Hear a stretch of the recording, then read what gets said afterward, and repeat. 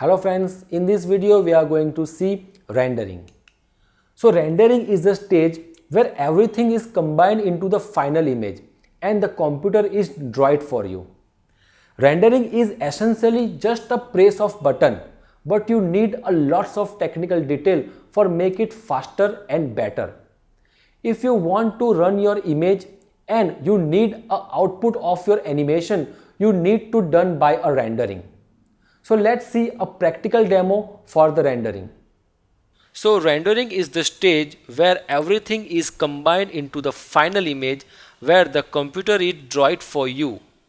So here you can see our animation is done.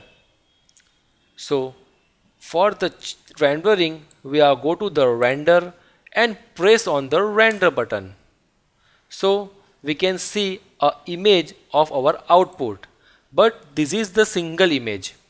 If you want a AVI or any output video file, you need to do some settings in your rendering.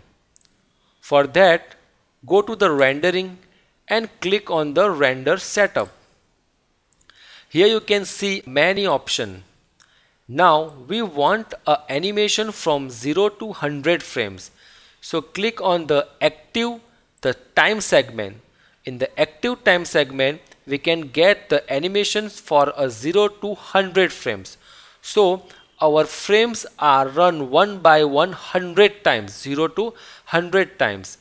And now we want output as a AVI file.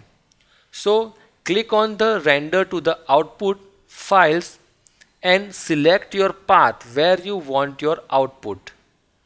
So go to the any path where you want your output. I am saving at the document. So here I am output as a animation and select the output format. I am selecting the AVI format and press save.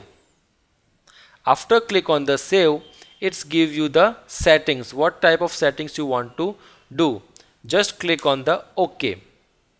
Now if I am click on the render one by one all frame is rendering and give us a final output.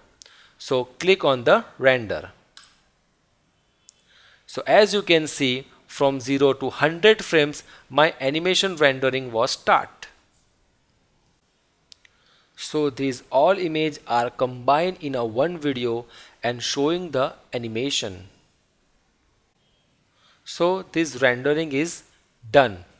Just close it and on your place you can see your animation. This is our animation file.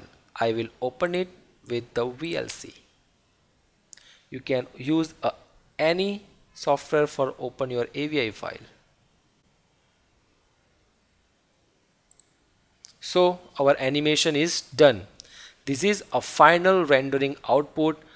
We are created in 3D software.